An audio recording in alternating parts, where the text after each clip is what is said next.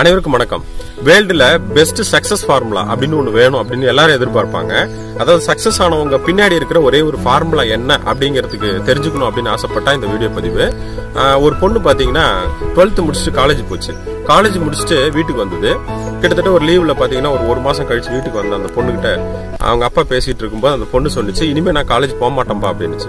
உடனே அவங்க அப்பாவுக்கு ஆச்சரியம். ஏம்மா என்ன நடந்துச்சு? அப்படின்னு கேட்டார். அந்த பொண்ணு சொன்னிச்சு அப்பா என்ன வந்து எல்லாரும் கிண்டல் பண்றாங்க அசிங்கப்படுத்துறாங்க அப்படின்னு சொன்னிச்சு. என்ன மாதிரி ஒன்று கிண்டல் பண்றாங்கன்னு கேட்டதுக்கு என்ன காக்கா மாதிரி இருக்கேன் அப்படின்னு சொல்லி கம்பேர் பண்றாங்கப்பா அப்படின்னு சொன்னாங்க உடனே கூகுள்ல சர்ச் பண்ணி காமிச்சாரு. காக்கா அப்படிங்கிறது மனுஷனுக்கு ஈக்குவலான அறிவுள்ள ஒரு பறவை அப்படிங்கறத சொன்ன உடனே அந்த பொண்ணுக்கு சாட்டிஸ்பாக்சன் வரும்னு பார்த்தா வரல. அது மறுபடியும் டென்ஷனாவே இருந்தது. மறுபடியும் என்ன சொன்னாரு? இந்தியன் கலர்ல பார்த்தா பிளாக் அப்படிங்கறதுல மெலனின் பிக்மெண்ட்ங்கிறது அதிகமா இருக்குமா? கருப்பு நிறம் வந்து நிறைய விஷயத்துக்கு வந்து நோய் எதிர்ப்பு சக்தி அதிகமா கொண்டவங்களுக்கு மட்டும்தான் இருக்கும் அப்படின்னு சொன்னார்.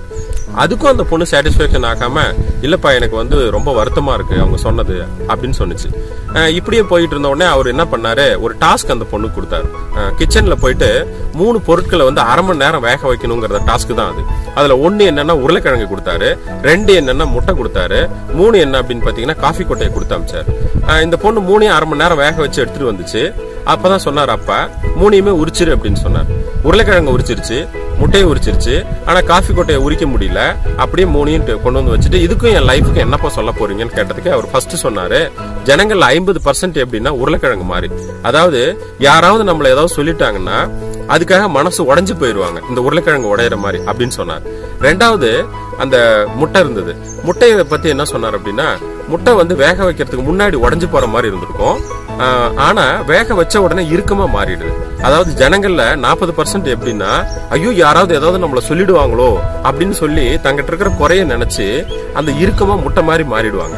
ஆனா மூணாவதா இருக்கிற காஃபி கொட்டை மாதிரி பத்து பர்சன்ட் மட்டும்தான் சக்சஸ்ஃபுல் பீப்புள் இருக்காங்க.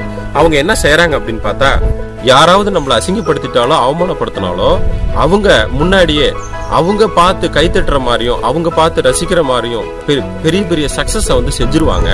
அதுதான் இந்த மூணாவது ரகம்.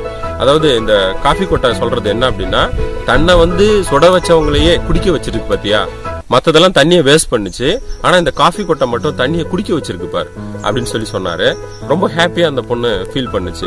உடனே கிளம்பி காலேஜ் போச்சு. தேர்ட் இயர் அப்ப அவங்க அப்பாவுக்கு ஒரு ஃபோன் கால் வந்துச்சு.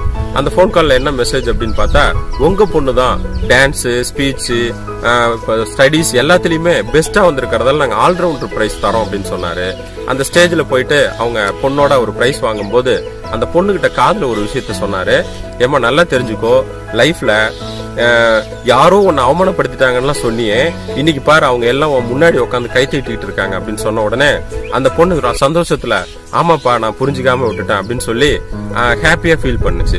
இப்போ இந்த கதையில என்ன சொல்ல வரோம் அப்படின்னு பாத்தீங்கன்னா நிறைய பேர் நாம கொஞ்சம் கலர் கம்மியா இருக்கும்.